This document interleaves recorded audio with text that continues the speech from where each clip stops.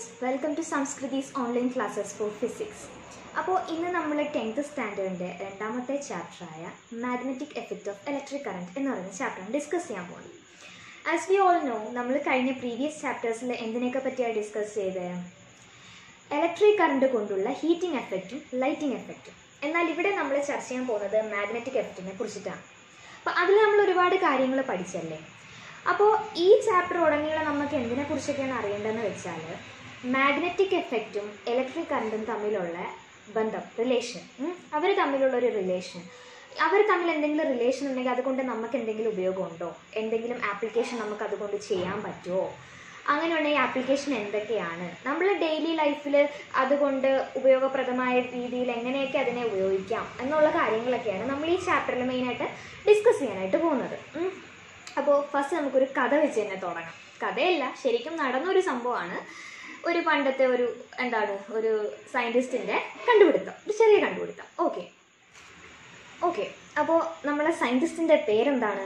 Hans Christian Easter ബോർഡിൽ നോക്കിക്കഴിഞ്ഞാൽ അറിയാൻ പറ്റും. സ്ക്രീനിൽ നോക്കി അറിയാൻ പറ്റും. അവിടെ രണ്ട് ഫിഗർ കൊടുത്തിരിക്കണുണ്ടോ ശരിക്കും ആ സെറ്റപ്പ് തന്നെയാണ് അവിടെ നടന്നത്. അതായത് ഈ സയന്റിസ്റ്റ് റാൻഡമായിട്ട് കുറേ എക്സ്പെരിമെന്റ്സ് ഒക്കെ ചെയ്തുകൊണ്ടിരിക്കുകയായിരുന്നു. അപ്പോൾ ഈ എക്സ്പെരിമെന്റ് ചെയ്തുകൊണ്ടിരുന്നപ്പോൾ പുള്ളിക്കാരൻ കറണ്ടിലാണ് ചെയ്യണേ. ഒരു സർക്യൂട്ട് ഇങ്ങനെ കണക്ട് ചെയ്ത് വെച്ചിട്ടുണ്ട്. ഒരു സെല്ലൊക്കെ കൊടുത്ത് ഒരു സർക്യൂട്ട് ഇങ്ങനെ ഓണാക്കാനായിട്ട് ഇങ്ങനെ റെഡിയാക്കി വെച്ചിട്ടുണ്ട്. അപ്പോൾ ഇതിന്റെ അടുത്ത് ആക്സിഡന്റലി ഒരു മാഗ്നറ്റിക് ഉം. ഒരു മാഗ്നറ്റിക് നീഡിൽ ആക്സിഡന്റ് അവിടെ ഇരിപ്പുണ്ടായിരുന്നു നേരത്തെ. നമ്മൾ പർപ്പസ്ഫുള്ളി വെച്ചതല്ല നേരത്തെ അവിടെ ഇരിപ്പുണ്ടായിരുന്നു. അപ്പോൾ ഈ സയന്റിസ്റ്റ് ഈസ്റ്റഡ് എന്താ ചെയ്തത് ഈസ്റ്റഡ് ഇതിന്റെ സ്വിച്ച് ഓൺ ആക്കിയപ്പോഴത്തേനും ഈ സർക്യൂട്ട് വഴി ഇലക്ട്രിസിറ്റി കണ്ടക്ട് ചെയ്യാനായിട്ട് തുടങ്ങി. ഇലക്ട്രിസിറ്റി പ്രൊഡ്യൂസ് ചെയ്ത് പോകാനായിട്ട് തുടങ്ങി. ഈ ഇലക്ട്രിസിറ്റി ഓണായ സമയത്ത് അല്ലെങ്കിൽ നമ്മൾ സ്വിച്ച് ഓൺ ആക്കിയ സമയത്ത് എന്താ സംഭവിച്ചതെന്ന് വെച്ചാൽ മാഗ്നറ്റിക് നീഡിൽ നിന്ന് ഒരു ഡിഫ്ലക്ഷൻ ഉണ്ടായി. അത് ആര് നോട്ട് ചെയ്തു? ഈസ്റ്റർ നോട്ട് ചെയ്തു. കാരണം എക്സ്റ്റേണലി ഫോഴ്സ് ഒന്നും കൊടുത്തിട്ടില്ല ഒന്നും ചെയ്തിട്ടില്ല. എന്താ ചെയ്തത് നമ്മൾ സ്വിച്ച് ഓൺ ആക്കിയപ്പോഴത്തേനും മാഗ്നറ്റിക് നീഡിൽ ഡിഫ്ലക്ട് ചെയ്തു. ശരിക്കും പറഞ്ഞാൽ അങ്ങനെ ഒരു അങ്ങനെ ഡിഫ്ലക്ട് ചെയ്യാൻ വേണ്ടി ചെയ്ത സാധനമല്ല ആക്സിഡന്റലി നോട്ടീസ് ചെയ്ത സാധനമാണ്. അപ്പോൾ അങ്ങനെ നോട്ടീസ് ചെയ്തപ്പോഴത്തേനും ഈസ്റ്ററിനെ എന്തോ അവിടെ എന്തോ ഒരു ഒരു ഫോഴ്സ് അവിടെ എന്തോ ഉണ്ടായിട്ടുണ്ട്. അതുകൊണ്ടാണല്ലോ മാഗ്നറ്റിക് നീഡിൽ ഡിഫ്ലക്ട് ചെയ്തത് അപ്പോൾ ഈസ്റ്റർ എന്ത് ചെയ്തു? ഈ ഈ ഒരു എക്സ്പെരിമെന്റ് ഒന്നൊന്ന് ഒന്ന് പരീക്ഷിച്ച് നോക്കാം എന്ന് വിചാരിച്ചു. എന്നിട്ട് എന്താ ചെയ്തതെന്ന് വെച്ചാൽ നമ്മൾ ആ സർക്യൂട്ട് കണ്ടില്ലേ? ആ സർക്യൂട്ടിലെ ഡിഫ്ലക്ഷൻ കണ്ടില്ലേ? ആദ്യത്തെ പ്രാവശ്യം ഈ നീഡിൽ എങ്ങോട്ടാണ് ഡിഫ്ലക്ട് ചെയ്തത് ആന്റി ക്ലോക്ക്വൈസ് ഡയറക്ഷനിലായിരുന്നു അപ്പോൾ ഈസ്റ്റേഡ് സ്റ്റേഡ് എന്ത് ചെയ്തു? ഈ സെല്ലിന്റെ പൊളാരിറ്റി മാറ്റി കൊടുത്തു. അതായത് നെഗറ്റീവും പോസിറ്റീവും മാറ്റി കൊടുത്തു. അത് മാറ്റുമ്പോൾ എന്താ സംഭവിക്കണേ? ആ കറണ്ട് വേറെ ദിശയിലോട്ടാവും. നേരത്തെ ഉണ്ടായിരുന്നതിനെ ഉണ്ടായിരുന്നതിനെ വെച്ചിട്ട് ഓപ്പോസിറ്റ് ഡയറക്ഷനിലോട്ട് കറണ്ട് വരും. അങ്ങനെ കറണ്ടിന്റെ ഡിറക്ഷൻ മാറ്റിയപ്പോൾ എന്ത് സംഭവിച്ചു എന്ന് വെച്ചാൽ ഈ മാഗ്നറ്റിക് നീഡിലെ ഡിഫ്ലക്ഷൻ നേരെ ഓപ്പോസിറ്റ് ഡയറക്ഷനിലോട്ടായി അപ്പോൾ ഈ കാന്തിക സൂചിയുടെ ചലനം അതാണ് ഇവിടെ മെയിനായിട്ട് നോട്ടീസ് ചെയ്തത്. രണ്ട് കാര്യങ്ങൾ ഒന്ന് ഇലക്ട്രിസിറ്റി കണ്ടക്ട് ചെയ്തു അല്ലെങ്കിൽ ഒരു കണ്ടക്ടറിൽ കൂടെ ഇലക്ട്രിസിറ്റി കടത്തി വിട്ടപ്പോൾ അവിടെ ഒരു മാഗ്നെ അവിടെ ഒരു മാഗ്നറ്റിക് ഫീൽഡ് ഉണ്ടായി. അതാണ് ഒന്നാമത്തെ കണ്ടുപിടുത്തം. രണ്ടാമത്തെ കണ്ടുപിടുത്തം എന്താണ്? കറണ്ടിന്റെ ഡിറക്ഷൻ അനുസരിച്ച് ഈ മാഗ്നറ്റിക് ഫീൽഡിന്റെ ഡിറക്ഷനും മാറും. ഈ രണ്ട് കണ്ടുപിടുത്തങ്ങളാണ് ഈസ്റ്റഡ് ഇതുവഴി കണ്ടുപിടിച്ചത്. ഇത് ശരിക്കും പറഞ്ഞാൽ ഒരു ഈ ഇലക്ട്രിസിറ്റിയും മാഗ്നറ്റിക് ഫീൽഡും ഒക്കെ തമ്മിലുള്ള ആ ഒരു എന്താണ് ആ ഒരു റിലേഷൻഷിപ്പിൽ ഒരു വലിയ ഒരു ഒരു കണ്ടുപിടുത്തമായിരുന്നു ശരിക്കും പറഞ്ഞാൽ അപ്പോൾ ഈ എക്സ്പെരിമെന്റിന്റെ നെക്സ്റ്റ് പ്രോഗ്രസ് അതായത് അടുത്ത കണ്ടുപിടിച്ചത് ഈസ്റ്റഡ് അല്ല കേട്ടോ. അടുത്തത് ജെയിംസ് ക്ലാർക്ക് മാക്സ്വെൽ എന്ന് പറയുന്ന സയന്റിസ്റ്റ് എന്താ കണ്ടുപിടിച്ചതെന്ന് വെച്ചാൽ ഇതിന്റെ ഡിറക്ഷൻ കറണ്ടിന്റെ ഡിറക്ഷൻ അനുസരിച്ച് എങ്ങോട്ടാണ് മാഗ്നറ്റിക് ഫീൽഡിന്റെ ഡിറക്ഷൻ എന്ന് എന്നുള്ളൊരു കാര്യമാണ് കണ്ടുപിടിച്ചത്. അതെങ്ങനെയെന്ന് വെച്ചാൽ ഇപ്പോൾ ഇതേ ഇത് ഇതൊരു കണ്ടക്ടറാണെന്ന് വെച്ചു. ഇത് ഞാൻ താഴ്ന്ന് മുകളിലോട്ട് കറണ്ട് കൊടുത്തു. കറണ്ട് കൊടുക്കുമ്പോൾ റൈറ്റ് ഹാൻഡ് തമ്പ് റൂളാണ് അപ്പോൾ റൈറ്റ് ഹാൻഡ് നമ്മൾ എന്ത് ചെയ്യുക റൈറ്റ് ഹാൻഡ് വെച്ചിട്ട് ഇത് ഹോൾഡ് ചെയ്യുക ഇത് ഹോൾഡ് ചെയ്യുമ്പോൾ തമ്പിന്റെ ഡയറക്ഷൻ എങ്ങോട്ടാണോ അങ്ങോട്ടാണ് കറണ്ട് പോകുന്നത് ഇത് കറണ്ട് പോകുന്നതിന്റെ ഡയറക്ഷനിലോട്ടാണ് നമ്മൾ തമ്പ് വയ്ക്കാൻ ബാക്കി ഈ കറങ്ങി വരുമല്ലോ ഈ വരുന്ന ഫിംഗേഴ്സ് എല്ലാം. ഇതെല്ലാം മാഗ്നറ്റിക് ഫീൽഡിന്റെ ഡയറക്ഷനാണ് ഇതാണ് മാക്സ്വെല്ലിന്റെ റൈറ്റ് ഹാൻഡ് തമ്പ് റൂൾ ഇത് നമ്മൾ അറിഞ്ഞു വെച്ചിരുന്നാൽ മതി ഇങ്ങനെയാണ് സംഭവം. അല്ലെങ്കിൽ ഒരു സർക്യൂട്ട് കിട്ടിക്കഴിഞ്ഞാൽ ഇതിന്റെ മാഗ്നറ്റിക് ഫീൽഡ് എങ്ങോട്ടാണെന്ന് കണ്ടുപിടിക്കാനായിട്ട് ഇത് അറിഞ്ഞു വെച്ചിരുന്നാൽ മതി. ഇപ്പോൾ ഒരു സെല്ലുണ്ടെങ്കിൽ അതിലെങ്ങോട്ടാണ് സ്വാഭാവികമായിട്ടും കറണ്ട് മൂവ് ചെയ്യണം നമുക്ക് അറിയാൻ പറ്റുമല്ലോ. അപ്പോ അപ്പോൾ അടുത്തതായിട്ട് എന്താ ചെയ്തതെന്ന് വെച്ചാൽ അപ്പോൾ അതിന്റെ രണ്ടാമത്തെ പ്രോഗ്രസ് നമ്മൾ ഡിറക്ഷന്റെ കാര്യം പറഞ്ഞു. ഇനി അടുത്ത നെക്സ്റ്റ് വന്നത് ഏതെന്ന് വെച്ചാൽ ഇവർ എന്താ ചെയ്തതെന്ന് ഒരു തിൻ വയർ എടുത്തു. ഒരു തിൻ കോപ്പർ വയറോ എന്തെങ്കിലും ഒരു കണ്ടക്ട് ചെയ്യാൻ പറ്റുന്ന ഒരു വയർ എടുത്തു. വയർ എടുത്തിട്ട് അതിനകത്തേക്ക് എന്ത് ചെയ്തു? ഇലക്ട്രിസിറ്റി കടത്തി വിട്ടു. ഒരു കണ്ടക്ടിങ് സാധനം എടുത്തിട്ട് ഇലക്ട്രിസിറ്റി കടത്തി വിട്ടു. കടത്തി വിട്ടിട്ട് എന്താണ് ഇതിന്റെ അടുത്തൊരു നീഡിൽ ഒരു മാഗ്നറ്റിക് നീഡിലോ എന്തെങ്കിലും ഒരു നീഡിൽ എന്തോ വെച്ച് നോക്കി. ബട്ട് കാര്യമായിട്ടുള്ള ഒരു മാഗ്നറ്റിക് ഫീൽഡ് ഉണ്ടായിട്ടുണ്ട് തീർച്ചയായിട്ടും. പക്ഷേ നമുക്ക് വേണ്ടത്ര ഇന്റൻസിറ്റിയിലുള്ള ഒരു മാഗ്നറ്റിക് ഫീൽഡ് ഈ ഒരു തിൻ വയറിൽ ഉണ്ടാക്കാൻ കഴിഞ്ഞില്ല.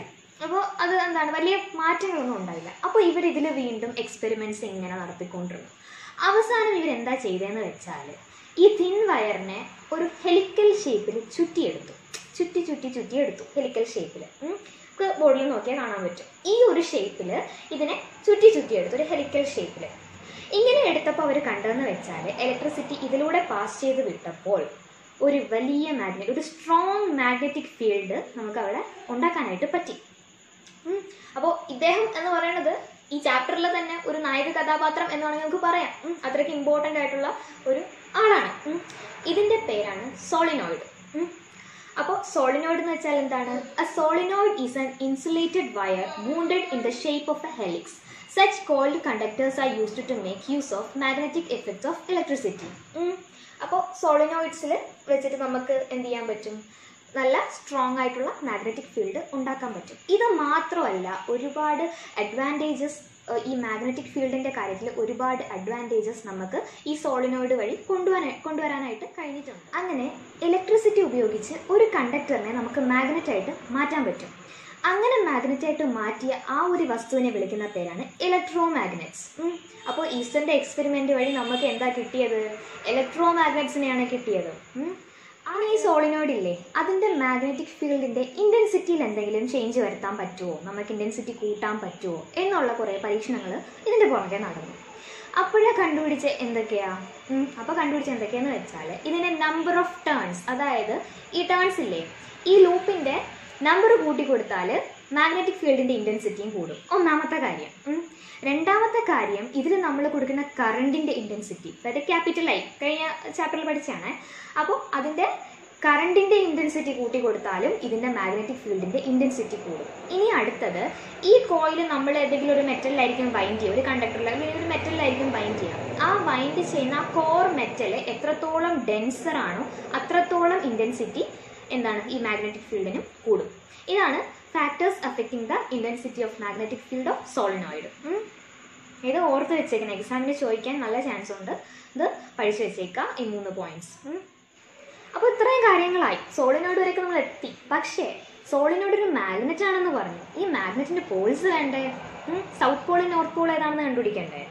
ആ അങ്ങനെ കണ്ടുപിടിക്കാനും ഇതിലൊരു മാർഗമുണ്ട് അതായത് നമ്മളിപ്പോൾ ഈ സോളിനോയിഡ് ഇവിടെ കാണാം നമുക്ക്. ഇതിൽ കറണ്ട് ഇലക്ട്രിസിറ്റി നമ്മൾ പാസ് ചെയ്ത് വിട്ടു. ഇപ്പോൾ ഡിറക്ഷൻ നമുക്കറിയാം. എങ്ങനെയാണ് പോകുന്നതെന്ന് ഈ ഡിറക്ഷൻ വെച്ചിട്ട് നമുക്ക് ഇതിന്റെ പോൾസ് ഡിറ്റർമൈൻ ചെയ്യാൻ പറ്റും. അതായത് ഈ സോളിനോയിഡിനെ നേരെ അതായത് ഇങ്ങനെ ഇങ്ങനെ- കോയിലായിട്ട് പോകുന്ന ഈ സാധനം കറങ്ങി ഹെലിക്കൽ ഷേപ്പിൽ പോകുന്ന ഈ സാധനത്തിൽ നമ്മൾ ഫേസിന് നേരെ വെക്കുകയാണ് അപ്പോൾ നമുക്ക് എന്താ കാണാൻ പറ്റുന്നത് ജസ്റ്റ് ഒരു സർക്കിൾ നമുക്ക് ആ ഫിഗറിൽ കാണാൻ പറ്റും. ഒരു സർക്കിളായിരിക്കും കാണുന്നത് അപ്പോൾ ഇതിൽ നമുക്ക് ഈ കറണ്ട് പോകുന്ന ഡിറക്ഷൻ അറിയാം.